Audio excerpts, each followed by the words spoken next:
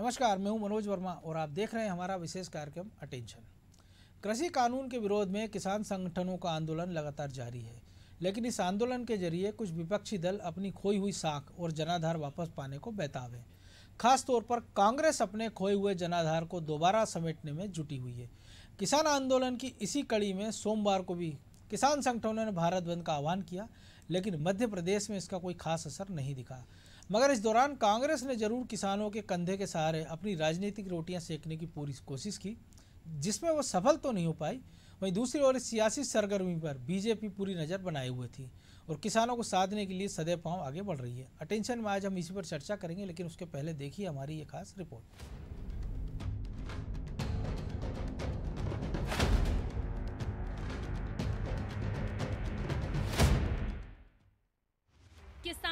आंदोलन ने अब पूरी तरह राजनीतिक रंग ले लिया है। किसान आंदोलन की शुरुआत में पंजाब के किसानों का विरोध प्रदर्शन देखने को मिला था। धीरे धीरे ये विरोध प्रदर्शन राजनीतिक रंग लेने लगा। कांग्रेस और उसकी अलग अलग शाखाओं ने इसमें बहुत सक्रियता दिखाई, लेकिन बाद में अन्य ताकतें भी इसमें शामिल होती चली गई किसानों ने इसे राजनीति से दूर रखने की भरसक कोशिश की, मगर कोई एक नेता या संगठन नहीं होने से ये संभव नहीं हो पाया। जिस तरह के मुद्दे अब किसान आंदोलन की आड़ में उछाले जा रहे हैं, वो पूरे आंदोलन पर सवालिया निशान लगा रहे हैं।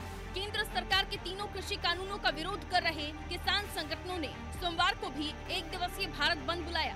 बंद के दौरान किसानों के धरना प्रदर्शन में कांग्रेस समेत सभी विपक्षी पार्टियाँ शामिल हुई।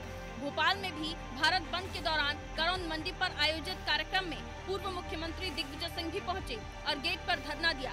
पूरे देश में 40 संगठनों के संयुक्त किसान मोर्चा ने भारत बंद बुलाया था, लेकिन मध्य प्रदेश में ये छाप नहीं छोड़ पाया किसानों के कंधे पर सवार होकर कांग्रेस ने मौके का फ़ायदा उठाने का प्रयास ज़रूर किया, लेकिन सफल नहीं हो पाई ग्वालियर में से लेकर भाजपा और कांग्रेस के नेताओं में झड़प भी हुई भोपाल में बंद का असर नहीं दिखाई दिया, सुबह से ही दुकानें खुली हुई थीं। कोलार के बाज़ार खुले रहे तो पुराना शहर की दुकानें भी खुली नज़र आईं। बंद के आह्वान को लेकर किसी भी व्यापारिक संगठन ने समर्थन नहीं दिया लेकिन किसानों की कंधे के सहारे कांग्रेस ने ज़रूर अपनी भड़ास निकाल ली। इस दौरान दिग्विजय सिंह ने केंद्र सरकार पर जमकर हमला बोला। उसमें इन कानूनों का कोई उल्लेख ही नहीं था। इन किसान विरोधी कानूनों के बारे में कोई भी किसान संगठन से किसान ये कानून लाने के पहले किसी से चर्चा तक नहीं की गई। ये तीनों कानून क्यों लाए गए? एक साथ। इसलिए लाए गए क्योंकि इस देश के 15 से 18 लाख करोड़ का जो व्यवसाय होता है, कृषि उत्पाद का, उसमें बड़ा व्यापारी इसलिए नहीं आ पाता क्योंकि उसे हर मंडी में जाके अपना लाइसेंस लेना पड़ेगा। इसलिए उन्होंने कर दिया कि एक लाइसेंस ले लो और देश भर में कहीं से भी आप अपना इन पे ऑनलाइन ट्रेडिंग कर सकते हो। किसान यूनियन उसके अंतर्गत हम लोग आज आए हैं। मैं अनुरोध करूँगा हमारे किसान संगठनों से कि किसान संगठन जो है, राजनीतिक पार्टियों को उनमें आमंत्रित करिए ना, भाजपा को भी करिए। लेकिन राजनीतिक पार्टियों से परहेज मत करिए। राजनीतिक पार्टियाँ आपके सहयोग के लिए किसानों की लड़ाई लड़ रहे हैं। आपकी लड़ाई में किसान और मजदूर की लड़ाई में न कांग्रेस कभी पीछे हटे है, न कभी हटेगी। कांग्रेस नेता राहुल गांधी समेत कई कांग्रेसी नेताओं ने ट्वीट कर बंद का समर्थन किया। वहीं जीतू पटवारी ने भी ट्वीट किया कि आइए किसानों के हक में अहिंसक सत्याग्रह को सफल बनाएँ, भूमि पुत्रों के अधिकारों के लिए एकजुट हो जाएँ। वहीं किसानों की आड़ में अपनी राजनीतिक रोटियाँ सेक रही कांग्रेस पर भाजपा ने भी पलटवार किया। वी शर्मा ने इसे किसानों का नहीं बल्कि कांग्रेस का भारत बंद बताया है। वहीं सीएम शिवराज ने भी कांग्रेस पर पलटवार करते हुए कहा कि कांग्रेस के नेता किसानों के लिए धरने पर बैठकर नाटक कर रहे हैं। नाटक कर रहे हैं किसानों के लिए धरने पे। बैतूल में किसानों को किसने गोली से बनवाया था? ना तुमने बिजली दी, ना नारे लगाते थे लोग। जब तक रहेंगे दिग्गी जलती रहेगी डिब्बी, चिमनी वाली डिब्बी। अंधेरा दिया तुमने प्रदेश को, पानी नहीं दिया सिंचाई का। पीने का पानी नहीं दिया। आज नाटक कर रहे हो। कुछ कांग्रेसी नाटक कर रहे हैं, धरना पे बैठ रहे हैं, धरने पे बिठा रहे हैं। पंद्रह महीना में पूरे प्रदेश को खा गए कमलनाथ। और अभी पता चला दिग्गी राजा धरना पे बैठे हैं। जब तुम मुख्यमंत्री थे दिग्गी तो दो दो घंटा बिजली नहीं आती थी रे। दो दो घंटा बिजली नहीं आती आंदोलन कर करके पता नहीं क्या बना लिया और विधायक बन गए। विधायक बन के पंद्रह महीने में धेला नहीं दिया आदिवासियों को। आज शिवराज सिंह चौहान कह रहा है, आदिवासी भाई बहनों के लिए पेशा एक्ट चरणबद्ध तरीके से मध्य प्रदेश की धरती पर लागू कर दिया जाएगा। यह भारतीय जनता पार्टी की सरकार का फैसला है। एक साल से किसान आंदोलन कर रहे हैं। कांग्रेस हर बार उनका समर्थन करती है, लेकिन धरातल पर ठोस कदम नहीं उठाती। कांग्रेस को उम्मीद है कि शायद वो किसान आंदोलन के सहारे अपनी खोई ज़मीन पा लेगी लेकिन वो फ़िलहाल इसमें सफल होती नज़र नहीं आती। प्रदेश में जो माहौल है, उससे साफ़ है कि कांग्रेस को किसानों का भरोसा हासिल करने के साथ जन समर्थन जुटाने में बहुत मेहनत करनी होगी। Bureau report, Anadi TV.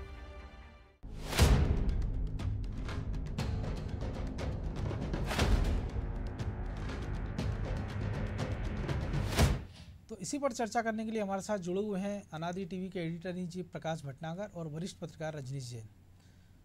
सबसे पहले प्रकाश जी के पास। प्रकाश जी जिस प्रकार का आपने पैकेज भी सुना और जिस प्रकार के कांग्रेस का आंदोलन भी हमने देखा इसके पहले भी दिग्विजय सिंह ने न्याय यात्राएँ की थी किसानों के लिए। गैर राजनीतिक उसको नाम दिया गया था कई जगह गए थे भीड़ जुटाने की कोशिश की थी।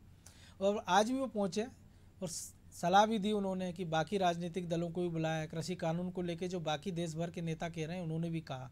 तो आपको नहीं लग रहा है कि कांग्रेस क्या किसानों के कंधे पर सवार होकर मध्य प्रदेश की राजनीति का सपना देख रही है? या दिग्विजय सिंह इंडिविजुअल अपनी राजनीति चमकाने में जुटे हैं? क्योंकि जब सोलह दलों का संयुक्त धरना होता है उसमें भी दिग्विजय सिंह इकलौते बड़े नेता होते हैं।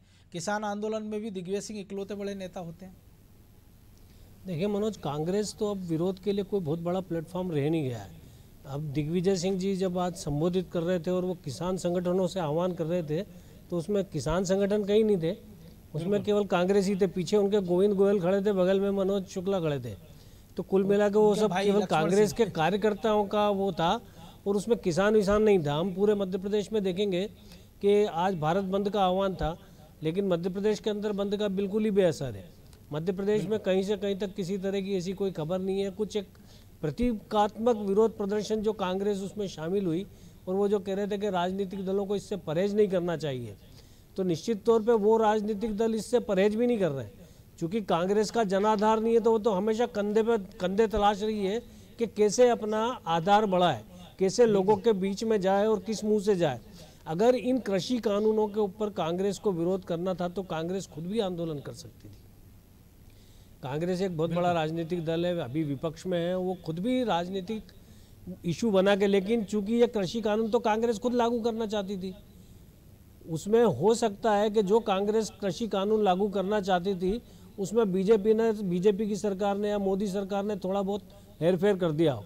तो कुल मिला के तो ये जितनी भी नए जो वो चीज़ें आई है सामने चाहे जीएसटी हो चाहे आपका ये कृषि कानून हो कृषि कानूनों में सुधार का इशू हो ये सब कांग्रेस की सरकार के समय की चीज़ें और उनको इम्प्लीमेंटेशन बीजेपी की सरकार ने कर दिया। तो अब मुझे ये समझ में नहीं आ रहा कि इसमें कांग्रेस इतना विरोध क्यों कर रही है? और चूँकि उसके विरोध का असर भी नहीं हो रहा कायदे से अगर इसी तरह का विरोध अगर भारतीय जनता पार्टी किसी इशू पर विपक्ष में रहते हुए करती तो हमने कई बार देखा उसका असर। लेकिन हम देख रहे हैं कि कांग्रेस हर जगह जहाँ पे भी वो विरोध कर रही क्योंकि विरोध करने के लिए वो अगुवा बन नहीं रही है।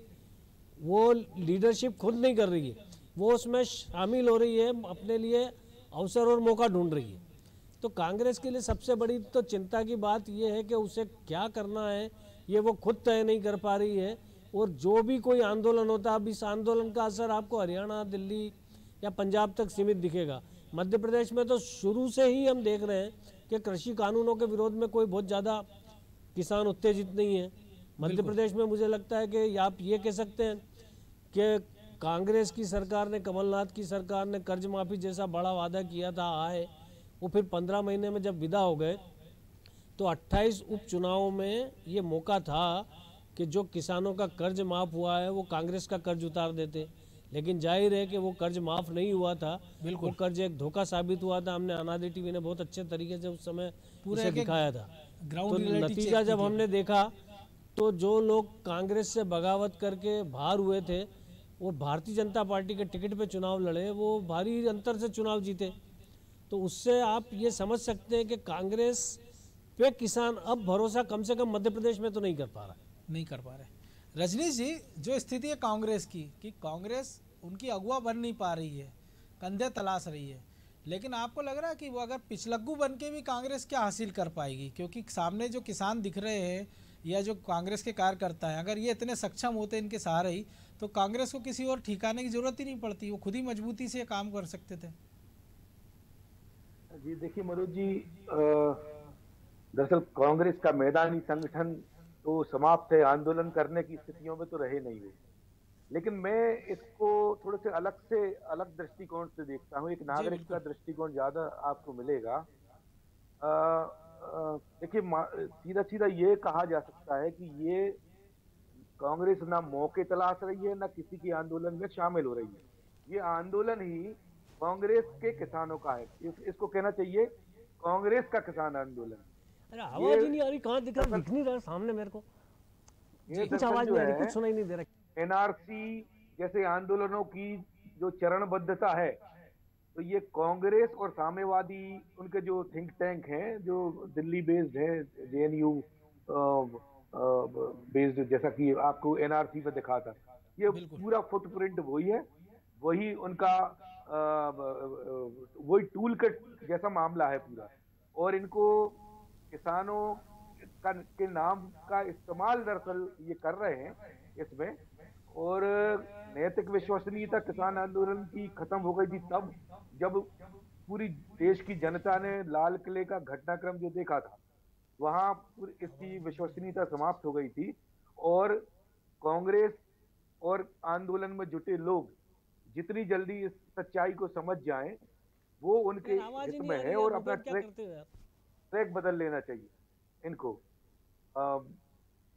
अच्छा ये जो है सफलता इसकी इस, इस इस आंदोलन की सफलता देखिए आरंभ में ये पंजाब बेस्ड इसलिए आपको लगा पंजाब बेस्ड आंदोलन क्योंकि इसमें अकाली दल मुख्य रूप से इसका हिस्सा जब बना उसके अलग कारण थे। अकाली दल का कारण ये था कि केंद्रीय मंत्रिमंडल में उनको वो तीन या चार पद मांग रहे थे तो उनको मिले नहीं।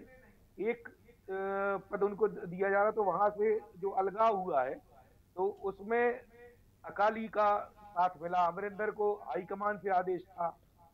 तो इस तरह से आपको, और एक विशेष वर्ग के किसान एक सहजी रूप से जो एनआरसी में दिख रहा था आप वो साथ है। तो मैं कह रहा था कि ये आंदोलन किसी भी आंदोलन की नैतिक विश्वसनीयता होती है तो ये लाल किले के घटनाक्रम खत्म हो गई थी और इसका जो समर्थन का आधार था, वो उसके, उसकी राजनीतिक वजह थी जो हमने आपको बताया। और अब देखिए अमरिंदर वाला जो घटनाक्रम हुआ, उसमें एक तो अमरिंदर खुद इस आंदोलन से हट गए, फिर सिद्धू जी ने आंदोलन की पूरी पोल खोल दी। ये बता के कि ये तो दरअसल अकाली दल के ब्लूप्रिंट पे बने हुए हैं तीनों बिल किसान बिल। तो ये बड़ा अपने आप में अच्छा और अमरिंदर जी को पहले ही समझ में आ गया था कि ये किसान आंदोलन जो है खासतौर पर देश और पंजाब के हित में नहीं है। और जिस तरह से वो धीरे धीरे किनारा उन्होंने किया तो जो सजा उनको मिली है कहीं और जाइए पंजाब में आंदोलन मत करिए। जी। तो जो जो सजा उनको सिद्धू जी अमरिंदर जी को मिली है, उसमें एक वजह ये भी है, क्योंकि इससे सिद्ध होता है कि ये कांग्रेस का आंदोलन है दरअसल। कांग्रेस इस तरह से विभाजनकारी और विध्वंसकारी एजेंडे सत्ता हासिल करने के लिए जो खेल रही है, ये मैं नहीं समझता कि ये एक अच्छी राजनीति का द्योतक है। उनको इससे बचना चाहिए और रचनात्मक विपक्ष की भूमिका का आकलन मतदाता करता है लगता ज़रूर है कि मतदाता भूल गया लेकिन वोट देते समय ये सारी बातें मतदाताओं की सामूहिक चेतना का हिस्सा होती हैं। ये बात कांग्रेस के तत्वों को समझना चाहिए और साम्यवादियों को समझ में कभी नहीं आएगी। उनका तो खेल ही इस पे आधारित है। उनका तो क्योंकि उनकी तो दुकान लूट चुकी है शायद ये भी एक बड़ा कारण है। हाँ। प्रकाश जी एक और चीज़ इस आंदोलन की राहुल गांधी से लेकर पूरी कांग्रेस ने इसका समर्थन किया। पंजाब में जो ज़िक्र किया रजनीश जी ने केवल अमृतसर में इसका असर दिखाई दिया। राजस्थान में कांग्रेस की सरकार है एक भी शहर में इसका असर नहीं दिखाई दिया। पूरे नॉर्थ में कहीं असर नहीं दिखा। जो उत्तर प्रदेश जहाँ चुनाव होना है, वहाँ केवल गाजीपुर बॉर्डर, सिंगू बॉर्डर पर थोड़ा सा असर दिखा। राजस्थान में नहीं दिखा, गुजरात, अहमदाबाद में, अहमदाबाद, मुंबई हाईवे पर जाम दिखा और दक्षिण भारत के एक दो राज्यों में, एक दो शहरों में इसका असर देखने को मिला।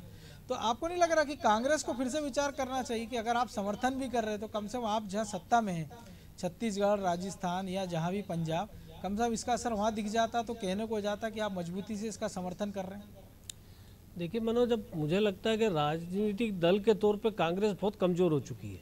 मतलब उसका चूँकि कोई ऑर्गेनाइजेशन नहीं है अब अगर उसके नेता कोई चीज़ डिसाइड भी कर लें तो उसे ज़मीन पे पूरा करने के लिए जो कार्यकर्ता चाहिए जो समर्पित और सक्रिय कार्यकर्ता चाहिए वो मुझे लगता है कि अब कांग्रेस के पास नहीं है। अब आप देख रहे हैं जैसे जिस तरह से रजनीश जी ने बताया कि अकाली दल कैप्टन अमरिंदर सिंह के गठजोड़ से पंजाब के अंदर वो शुरुआत हुई और हम देख रहे हैं कि पंजाब के अंदर सबसे ज़्यादा तकलीफ़ भारतीयों को हुई इस कृषि कानूनों से। बिल्कुल। तो उन्होंने उसको फाइनेंस भी किया इस आंदोलन के लिए बहुत अच्छी व्यवस्था हुई इस आंदोलन के अंदर। किसान जो है एसी के अंदर पाँच हज़ार करोड़ रुपए हर साल आड़त के रूप में मिलते थे आड़तियों को। तो उन्होंने काफ़ी पैसा खर्च भी किया कई सारी सुविधाएँ दी किसानों को बॉर्डर पर डटे रहने के लिए। लेकिन धीरे धीरे धीरे धीरे वो सब, चूँकि आपको एमएसपी के ऊपर खरीदी हुई एमएसपी का पूरा पैसा किसानों के खाते में सीधा गया। बीच में कोई बिचौलिया नहीं था। पहले आपको चार परसेंट आड़तियों के खाते में जाता था। तो जब किसानों को दिखा के आपको समर्थन मूल्य भी मिल रहा है, मिनिमम रेट भी मिल रहा है, और सरकार उसकी खरीदी भी कर रही है। सबसे ज़्यादा खरीदी पंजाब में हुई तो बेचा किसने? किसान ने बेचा। खरीदा किसने? सरकार ने खरीदा। मध्य प्रदेश दूसरे नंबर पर रहा गेहूँ की खरीदी में। तो फिर आखिर मध्य प्रदेश में भी ये हुआ। तो जब सरकार गेहूँ खरीद रही है एक समर्थन मूल्य दे रही है तो फिर जिस चीज़ को लेके ये बात कर रहे थे कि एमएसपी खत्म हो जाएगी। जिस चीज़ को लेके इनका विरोध था और बड़े सेठ साहूकार जो है वो सारा गेहूँ खरीद ले जाएँगे या मतलब धान खरीद लेंगे। लेकिन देखा कि सरकार ने ही सारी चीज़ें खरीदी। और बकायदा इसके अंदर किसानों के संरक्षण की भी पूरी व्यवस्था है। और मुझे लगता है कि जब केंद्र सरकार बार बार कह रही है कि भैया आप कोई इशू लेकर आओ, इशू बेस्ड तरीके से बात करेंगे, कृषि कानून कतई ख़त्म नहीं करेंगे, उसमें संशोधन करने को तैयार है। तो अब आप, चूँकि अगर आपको उन कानूनों के बारे में पूरा विस्तार से अध्ययन करके सरकार से बात करना है तो वो काम किसान संगठनों को करना चाहिए था। बनस्बत बार बार सड़क पे धरना देने से और एक सूत्री मांग के आप इन कानूनों को ख़त्म कर दो। और ये सरकार ने बहुत स्पष्ट कह दिया कि कानून किसी कीमत पे हम ख़त्म नहीं करेंगे। तो अब उसका रास्ता क्या है? अब उसका रास्ता आप लगातार आंदोलन कर रहे हैं, सरकार आपको ध्यान भी नहीं दे रही। और न जनता ध्यान दे रही, न जनता का समर्थन मिल रहा है। तो इससे किसानों के बीच में तो कोई वो ही नहीं हो रहा है। देश की बड़ी आबादी खेती से जुड़ी है। तो आप ये सोचो कि अगर देश की बड़ी आबादी खेती से जुड़ी है और वो वास्तव में आंदोलित होती तो निश्चित तौर पर जनता का समर्थन इस किसान आंदोलन को मिलता। बिल्कुल। लेकिन ऐसा नहीं हो रहा है क्योंकि ये असल में मूलतः कांग्रेस का एक तरह से आंदोलन है और जिस तरह से रजनीश जी ने कहा कि कांग्रेस अब कांग्रेस पे कुल मिला के कम्युनिस्टों का कब्जा हो गया। कम्युनिस्ट भारतीय राजनीति में फेल हो चुके हैं। उनका एकमात्र वो जो पश्चिम बंगाल त्रिपुरा और केरल तक सीमित थे उसमें से भी त्रिपुरा और पश्चिम बंगाल उनके हाथ से चले गए। अब ले दे के केरल भर उनके पास एक राज्य बचा है, जहाँ की राजनीति में वो ज़िंदा है। बाकी भारत की राजनीति में उसका कहीं कोई जनाधार कम्युनिस्टों का नहीं है। तो उन्होंने सबसे अच्छा तरीका, चूँकि इन सात सालों में जो बौद्धिक अयाशी जो वामपंथी करते थे, जो संस्थानों पे उनका कब्जा था, वो भी इन सात सालों में खत्म हो गया, क्योंकि उनकी जो प्रतिद्वंदी, वैचारिक प्रतिद्वंदी पार्टी है, वो अब केंद्र की सत्ता में और पूरी ताकत से है। यानी उसको किसी के सहारे की ज़रूरत भी नहीं है। तो वो चुन चुन के ऐसी जगहों पर कब्जा कर रही जहाँ पे वैचारिक वो है। तो सबसे ज़्यादा तकलीफ़ अब वामपंथियों को ये है। तो निश्चित तौर पे अब उनके पास कोई चारा नहीं है कि वो कांग्रेस पे कब्जा करें, कांग्रेस के माध्यम से राजनीति करें। और दिग्विजय सिंह जैसे लीडर जो रोज़ाना आरएसएस को और बीजेपी को तो बाद में देते, पहले वो आरएसएस को सबसे बड़े संघ विरोधी के तौर पे वो उभरते हैं सरस्वती शिशु मंदिर पे वो सवाल उठाते हैं। तो कुल मिला के वो काम बहुत अच्छी तरह से कर रहे हैं। जो कम्युनिस्टों को करना चाहिए था वो कांग्रेस में रह के दिग्विजय सिंह कर रहे हैं और नुकसान कांग्रेस को हो रहा है। अब ये कांग्रेस का आला कमान ने उन्हें जवाबदारी दी थी कि वो वो इशू ढूंढे जिसपे केंद्र सरकार को घेरा जा सके। ले दे के वो सरस्वती शिशु मंदिर और आरएसएस के ऊपर आके टिक गए। जो उनका फेवरेट सब्जेक्ट है। जो उनका फेवरेट सब्जेक्ट है और वो कांग्रेस के लिए नुकसानदायक भी है है कि दिल्ली में उनके जो डीसीसी के अध्यक्ष है अनिल चौधरी उनको कांग्रेस की जो पहुँचते हैं वो तो किसान उनको भगा देते हैं कि गैर राजनीतिक आंदोलन है वो पूरी कांग्रेस कह रही है कि इसको हमारा समर्थन है। तो इस पर भी सोचना चाहिए। रजनी जी एक और बात है जो आपने कहा कम्युनिस्टों के विचार पर कांग्रेस चल रही है तो अगर हमने जो अतीत में देखा है इतिहास में कि चाणक्य ने भी एक विचार दिया था लेकिन उसके बाद चंद्रगुप्त था जिसको पूरा करने के लिए। लगता आवाज़ नहीं पहुँच पा रही। रजनी जी आवाज़ आ रही है आपको? हाँ आवाज़ आ रही है आपको? मैंने कहा तो- कि जो आपने बात की कि कम्युनिस्टों से विचार मिल रहा है तो हमने देखा अतीत में या पढ़ा जो देखा हमने सुना है कि चाणक्य ने विचार दिया था लेकिन चंद्रगुप्त था उनके पास। तो कम्युनिस्टों को ये सोचना चाहिए कि कांग्रेस को भी सोचना चाहिए कि वो विचार किससे ले रहे हैं और कम्युनिस्टों को सोचना चाहिए विचार किसको दे रहे हैं वो? क्योंकि दोनों के विचार ही आपस में नहीं मिल रहे तो उसको इम्प्लीमेंट कैसे करेंगे?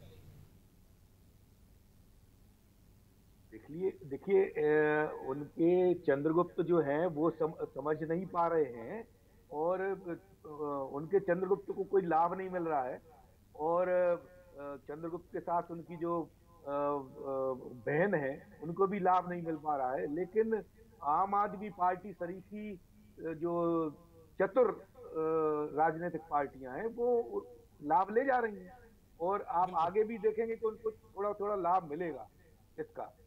देखिए एक बात को मैं बड़े गौर से कहना चाहूँगा गौर दिलाना चाहूँगा आपका कि आंदोलन की जो निरंतरता है और इस आंदोलन की निरंतरता पे भारतीय जनता पार्टी की तरफ़ से जिस तरह से एक खामोश रवैया अख्तियार कर लिया गया है आप देखेंगे कि नरेंद्र सिंह तोमर जी या कभी कभी थोड़ा सा शिवराज जी बोलते हैं आंदोलन के खिलाफ और किसान बिलों के समर्थन में। नीचे जो आरंभ में जिस तरह से भारतीय जनता पार्टी का कैडर इस आंदोलन के खिलाफ में और किसान बिलों बिलों के समर्थन में उठ खड़ा हुआ था और उसने नीचे तक बात पहुंचाई थी, वो लगभग लंबे समय से बंद है, कई महीने से बंद है। और सोशल मीडिया पे अब एक तरफा प्रचार हो रहा है। ये भारतीय जनता पार्टी को राजनीतिक रूप से इसका नुकसान हो सकता है। इस पर गौर करना चाहिए भारतीय जनता पार्टी को क्योंकि अंततः जो है इस पूरे परिदृश्य में किसानों का ही नुकसान होना है। यदि कुछ समझौते होते हैं तो। और आप ये देखिए कि प्रकाश जी जो बोल रहे थे मैं ये ध्यान दिलाना चाहूँगा कि यूपीए गवर्नमेंट के समय इस इन, इन बिलों पे पूरी बहस हो चुकी है। कपिल सिब्बल के साथ सारे नेताओं के वीडियो आपके पब्लिक डोमेन में आज पड़े हुए हैं। पर्याप्त से ज़्यादा बहस हो चुकी है किसान बिलों पे। और ये दरअसल किसान कांग्रेस की सरकार लाना चाह रही मनमोहन सिंह। तो जिसका ज़िक्र ये बात जी है हाँ इस इस बात को उल्लेख करना चाहिए। और प्रचार के लिए आपके पास पर्याप्त जब तथ्य हैं उन तथ्यों को आप पाला कांग्रेस के लिए पाला छोड़ के ये एक तरफा वो मैदान में खेल रहे हैं। भारतीय जनता पार्टी की का कैडर जो है और दो नेताओं के अलावा बाकी नेता सारे खामोश है जो ये अच्छी स्थिति नहीं है। तो हो सकता है वो मौके के इंतज़ार में हो क्योंकि अभी पाँच राज्यों के चुनाव में छह महीने से ज़्यादा का समय तो उन्होंने खुला मैदान छोड़ दिया कि कांग्रेस या कम्युनिस्ट जो कर सकते कर लें। हाँ ये ये ये संभव है ये संभव है ये ऐसा हो। प्रकाश जी एक छोटी सी टिप्पणी। पिछली बार दिग्विजय सिंह ने बंटा ढार करके अंधेरा याद दिलाया। आज दिग्विजय सिंह पे फिर मौका मिल गया शिवराज जी को। फिर उन्होंने वही किसान कर्ज माफ़ी बुलताई बेली गोली कांड और तमाम सारी याद दिला दी। तो वापस से फिर बनाम लड़ाई बंटा ढार बनाम विकास। जब जल्दबाजी जब भी दिग्विजय सिंह मध्य प्रदेश में सक्रिय होंगे वो भारतीय जनता पार्टी के लिए बहुत अच्छा है। क्योंकि दिग्विजय सिंह के 10 साल को लोग कभी नहीं भूलेंगे। और बीजेपी के जो 15 साल थे, उन्होंने, उनमें ऐसा कुछ नहीं था कि जिसे आप इस तरह से याद करो, जैसा दिग्विजय सिंह के कार्यकाल को आपने याद किया। पिछले पंद्रह साल में इंफ्रास्ट्रक्चर में काफ़ी सारा विकास हुआ। आप देख रहे हैं, बिजली की जो मतलब मध्य प्रदेश में वो है, उत्पादन, वो काफ़ी बड़ा, सड़कें काफ़ी सारी अच्छी हुई। अभी बारिश में आजकल हम देख रहे हैं, सड़कें ख़राब है। लेकिन कुल मिला के मध्य प्रदेश की सड़कें पंद्रह सालों में बहुत अच्छी रही। पानी की कोई कमी नहीं रही। तो मुझे लगता है कि ये जो मूलभूत इशू थे, उन पर भारतीय जनता पार्टी की सरकार ने बहुत अच्छा काम किया। तो उसका कारण जनता के अंदर कोई वो नहीं है। लेकिन जैसे ही आप दिग्विजय सिंह को सामने लाओगे तो शिवराज सिंह चौहान के लिए मौका है कि वो लोगों को लालटेन की याद दिला दे। बिल्कुल। यानी समय है जो चेहरे याद रखता है। बहरहाल अब समय इजाज़त नहीं दे रहा, इसलिए आप दोनों का बहुत शुक्रिया। इस चर्चा को ही विराम देते हैं। तो निश्चित तौर पर कांग्रेस जिन बैसाखियों का इस्तेमाल करने की कोशिश कर रही है तो पहले तो उसकी मजबूती परखना होगी और ये देखना होगा इससे फ़ायदा कितना है। क्योंकि ये तमाम सारे ऐसे इश्यू हैं जिस पर कांग्रेस अगर खुद रह के अपने दम पर आंदोलन करती तो शायद जनता और किसानों के बीच एक मैसेज देने की कोशिश करती। लेकिन जब कांग्रेस किसानों की बात करती है तो बीजेपी किसान कर्ज माफ़ी की बात करती है, जो याद दिलाती है, मुल्ताई गोली कांड की याद आती है, कि सड़कों की, बिजली की, पानी की बात करती किसान तो दिग्विजय सिंह के दस साल का शासन याद आ जाता है। तो कांग्रेस को सोचना होगा कि क्या उनके पंद्रह महीने के कार्यकाल में ऐसी कोई उपलब्धि नहीं है जिस पर बात की जा सके, या बीजेपी के पंद्रह साल में ऐसा क्या कुछ हुआ जिसको वो रिमाइंड नहीं करा पा रही है। अटेंशन वहाँ जितना ही। मुझे दीजिए इजाज़त और आप देखते रहिए अनादि टीवी। नमस्कार।